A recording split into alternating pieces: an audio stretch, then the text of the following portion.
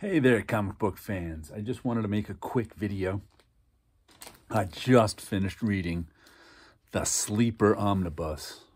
It's a big one. And I wasn't going to go issue by issue in this one because I was more interested in reading it than reviewing it in any way. But uh, it's, I think it's out of print. This is a, I took this out of the library.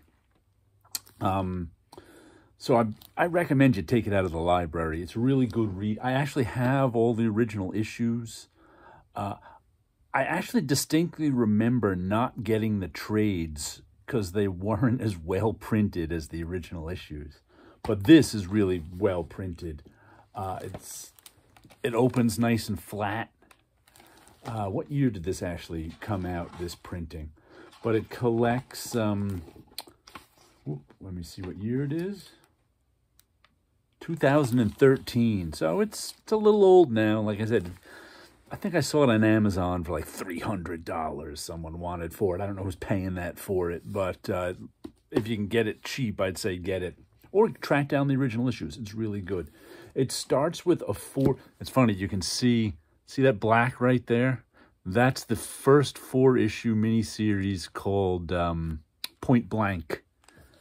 Um, and it's stars Grifter, and it's kind of the the sleeper series came out of that. There's there's um Point Blank starring Grifter is four issues.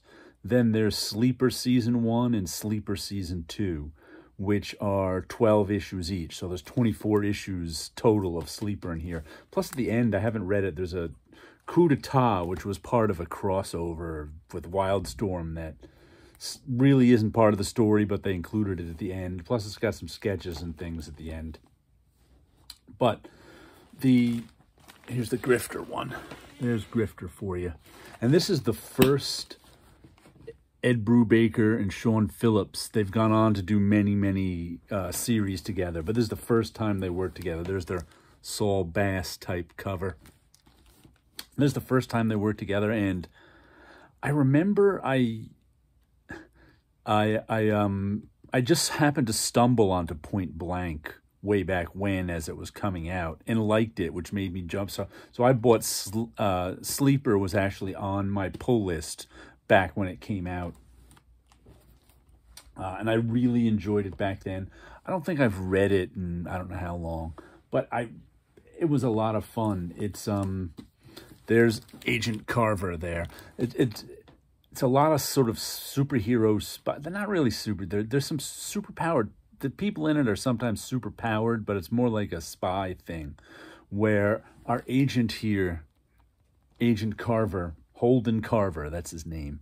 He's got a code superhero name too, but I don't think I can't remember what it is because he never uses it.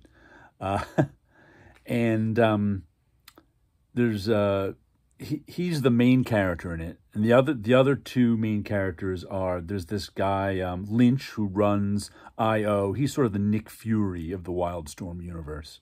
He runs the super spy organization, except he's you know even more of an SOB than Nick Fury is. And then there's Tao, tactically augmented organism, who comes from uh, Alan Moore and Travis Charest's Wildcats. He was a character there, and he's sort of the the villain who runs his own spy organization. So Lynch and Tao have this ongoing, you know, they're they're constant. Their organizations are constantly fighting each other. Um, so Holden was one of the good guys, and he agrees. Uh, he agrees to go undercover to try to get into Tao's organization. Um, for Lynch. Then Lynch gets into a coma and he can't get out. So the whole book is about him, um, Agent Carver. He doesn't quite know which side he's on anymore because he's been undercover so long and having to do so many bad things. He comes to realize that he did a lot of bad things working for the good guys. and now he's doing bad things working for the bad guys. So the whole thing is is told from his point of view. Mm. And he's got friends and a girlfriend. He's got a girlfriend who he left behind and a girlfriend who's a bad guy. So it gets all complicated with Agent Carver about what he's supposed to do. And and the artwork is just terrific. it's once again Sean Phillips doing a good job, and it's funny that there's um, it's all the the there's no bleed in the artwork. It's all um, all no bleed stuff, uh, which is why you can tell the black is full bleed and this white is all. I don't think he. I don't think uh, Sean Phillips works with much bleed in his and bleed is the when the comic the picture of the comic goes right off the edge of the book. His his uh, panels never go right off the edge of the book. He's always working within some structure, some gridded structure, and his storytelling is just impeccable. Uh, and it's it's just such a fun book. It's it's it's kind of dark because it's about this. Like I said, this guy he he he's just trapped undercover, and he has no way to get out because he knows that Tao is going to kill him if he finds out that he's a bad guy. But then and Tao and Lynch and Tao, the good guy and the bad guy, are such manipulators.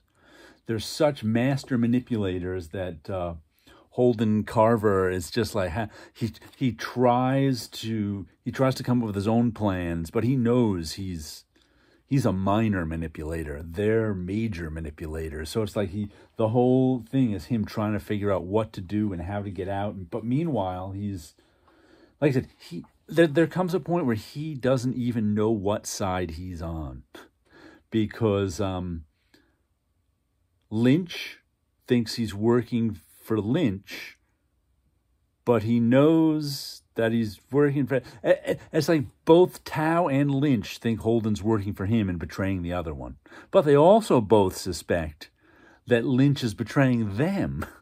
so it's like it just gets so crazy, and you know, like I said. Tao, Tao, the evil master manipulator, his plans are often opaque too. Like Holden doesn't even know what his plans are. But he just gets orders and has to do them. And most most of the characters are on the villain side. So there's like um, Holden and his girlfriend, Ms. Misery. Then there's Genocide was his best friend, uh, but he was also a bad guy. Uh, Triple X Ray, that was another one of the bad guys who was his friends. Uh, so he's most of his friends are bad guys because that's what he's been undercover all this time. But it's just like I, I I read this whole thing in about three days.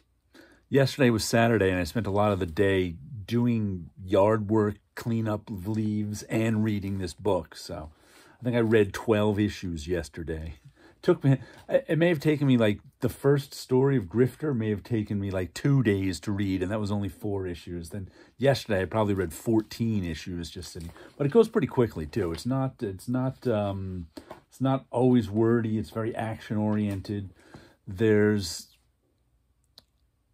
there's super powered people in it but it isn't a super power like like his i forgot his superpower is uh, he can't feel pain, which leads him to not feel pain psychologically too, which messes him up.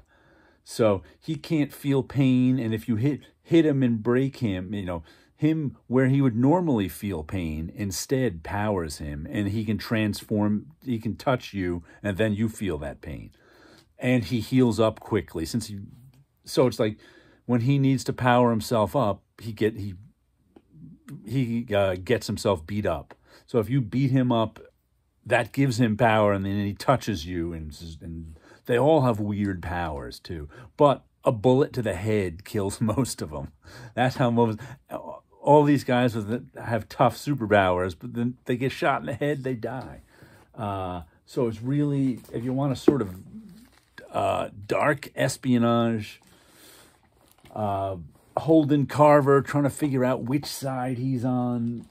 I, I really recommend Sleeper. Like I said, it's one of my favorites. Take it out of the library, like I did. If you if your library, I think this comes from a library in, like I said, at my library, I can go online and order things. So this is from some other library in their library system. I don't even know which one. Up oh, May 2, 2017 is when they got this one in, so it must have still been in print then. But it, it- oh, yeah, this is from Nyack Library. So this is in the county, but uh, not my library. They just send it on over. So check your library and see if they can get you this. The Sleeper Omnibus. Good stuff.